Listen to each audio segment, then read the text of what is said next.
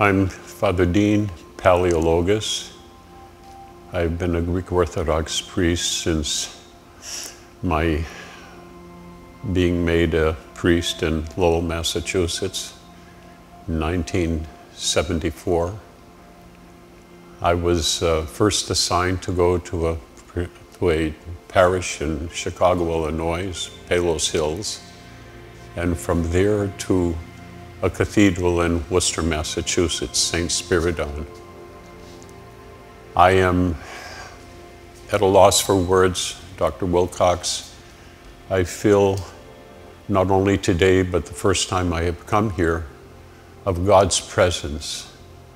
I felt now behind me an icon that I had given you of Saints Cosmas and Damian.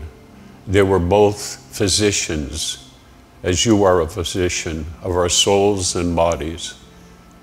And they were doctors who gave of themselves, as I feel you do with acupuncture. And I feel a divinity here when I come to seek some relief for my body, but most importantly, to know that through you, doctor, and I said this when I first met you, and since then, that you are an angel of the Lord here, and that you follow in the footsteps of Saints Cosmas and Damian. May this continue. May all of the people that come here to be given restoration for any aches or calamities that they go through in their bodies. I feel when I come here, I leave with much relief, and most importantly, with the angelic host surrounding me. I feel your presence.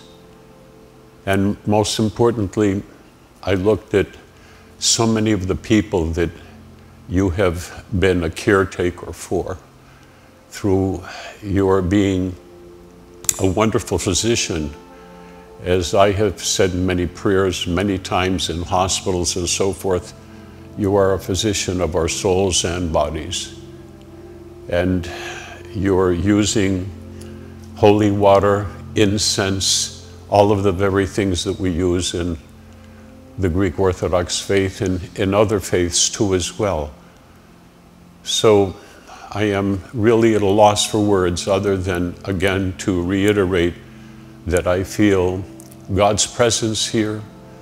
I feel the presence of Saints Cosmas and Damian, and most importantly, that you were meant to be here and to continue in that path of righteousness, a righteousness that brings relief to so many of the people that you have been a physician for and who will always be coming to you to see, to get relief. And in this world, we put our trust and faith in our Lord and Savior, Jesus Christ. And I put my trust in you as well, Dr. Willcox. May God continue to use you as his instrument here on earth, as he did for the saints of our church.